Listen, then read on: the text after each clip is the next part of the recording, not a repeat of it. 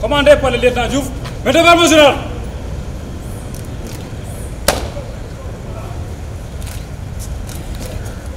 Aujourd'hui, malgré les époques et les lieux différents, rien ne change dans cette assertion. C'est pour vous dire, mon général, combien cette cérémonie de réception de vos nouveaux bâtiments reste pour nous, citoyens, une grande aubaine. Notre ville, comme vous le savez si bien, est au carrefour des mouvements, une zone tampon à la fois vers le nord et vers l'axe maritime de notre continent. Voilà pourquoi votre présence nous réconforte. Évidemment, les enjeux géopolitiques ont permis de renforcer la sécurité de notre ville et aux alentours. Au-delà des dispositifs militaires en place, la police assure également une veille irréprochable. Qui plus est, la présence dans notre cité de nouvelles brigades de groupement d'intervention mobile rehausse considérablement cette sécurité tant demandée. C'est donc le lieu de vous adresser mes remerciements les plus appuyés pour le travail de tous les jours et aujourd'hui pour la construction de ce bâtiment imposant. De la même manière qu'il assure de meilleures conditions de travail à vos hommes, il nous procure le sentiment d'être mieux protégés.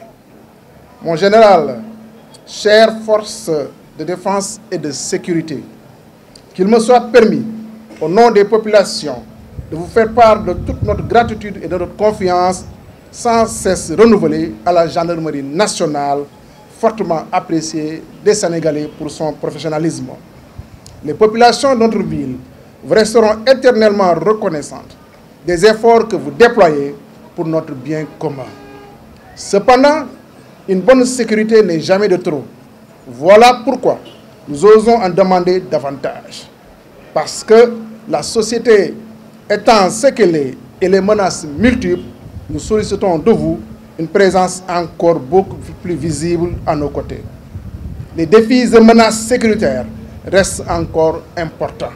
D'ailleurs, son Excellence, Monsieur le Président de la République du Sénégal, Monsieur Macky Sall, qui accorde à la défense et à la sécurité nationale une importance capitale, l'a rappelé lors de la cinquième édition du Forum international de Dakar consacré à la paix et à la sécurité.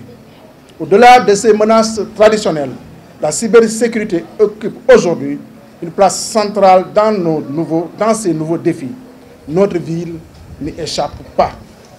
Honorables invités, Mesdames et Messieurs, je ne saurais terminer mes propos sans en appeler à votre collaboration, à votre accompagnement à ce corps que nous apprécions tous pour le professionnalisme dans l'exercice de leurs fonctions.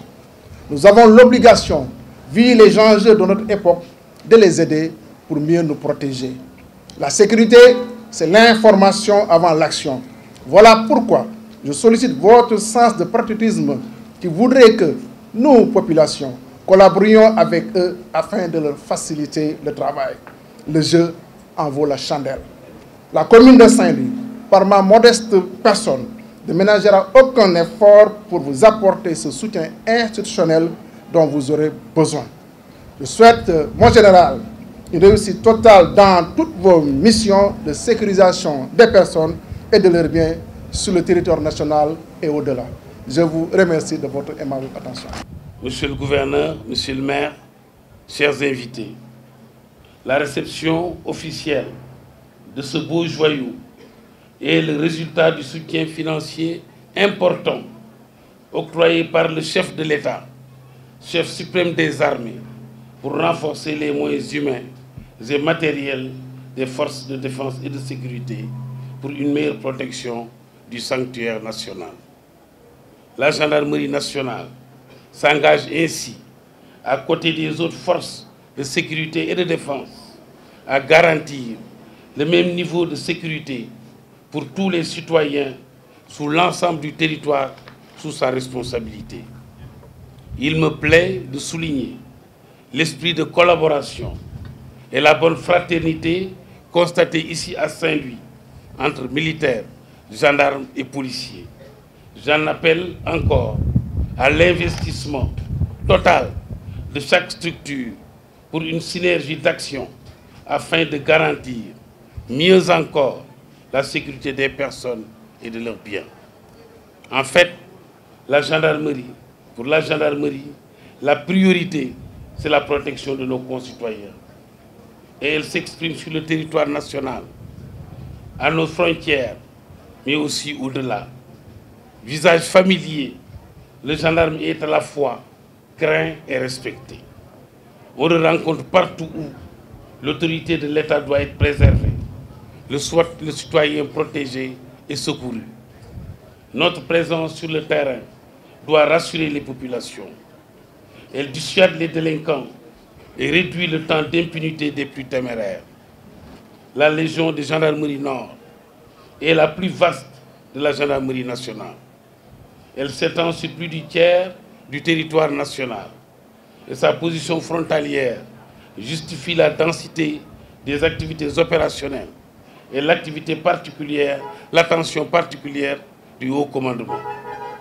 La porosité des frontières et la lutte contre une délinquance polyforme allant du vol de bétail au terrorisme, en passant par les trafics de tout genre, constituent les défis les plus urgents à relever dans cette zone. Le renforcement de notre posture proactive reste une priorité absolue, tout en veillant à obtenir une exacte cohérence entre notre mission de sécurité, les spécificités de la zone d'action et nos moyens. Les travaux que nous réceptionnons ce jour ont permis de réhabiliter entièrement les locaux abritant l'état-major de la compagnie de Saint-Louis ainsi que la brigade territoriale de Saint-Louis.